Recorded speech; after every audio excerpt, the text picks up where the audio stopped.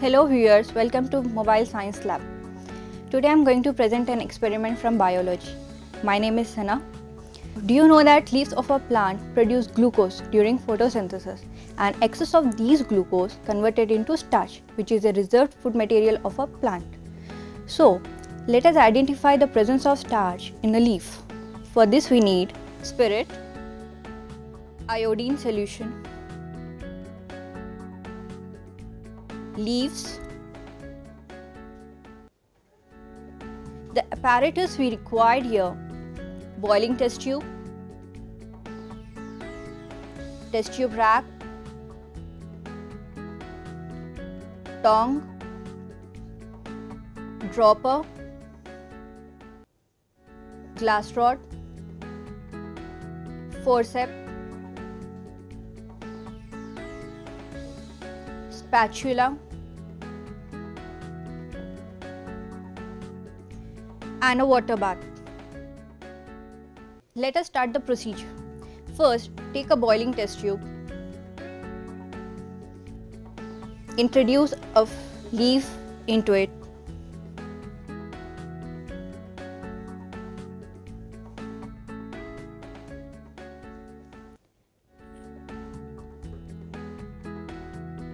Add spirit into it.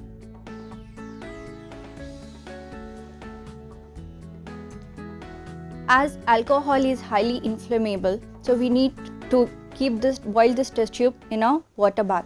So i'm keeping this boiling test tube into a water bath for boiling of alcohol. When the alcohol start boiling the chlorophyll dissolves in the alcohol and alcohol turns into green color. Here we are removing the alcohol to see the color change of iodine clearly. It takes nearly 10 minutes for boiling you can see closely here the chlorophyll has dissolved into a spirit. Now we will separate the chlorophyll liquid from the leaves.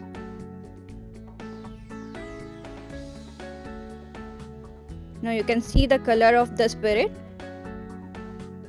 It turned into green in color as the whole chlorophyll from the leaves got dissolved into the spirit.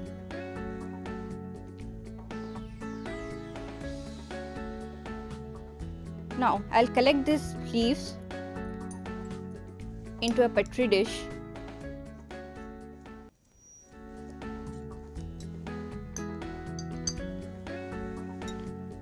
Now you can see the color of a leaf. It is colorless now as the whole chlorophyll got dissolved into the spirit.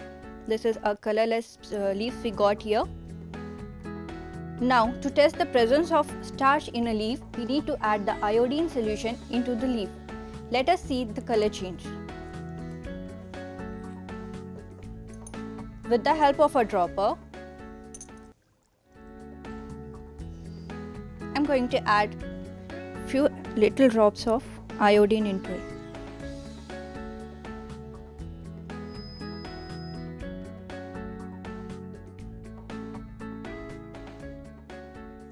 Here you can notice the difference. Before the leaf was green in color, after removing the chlorophyll, we got a colorless leaf. Then here you can notice appearance of a bluish complex.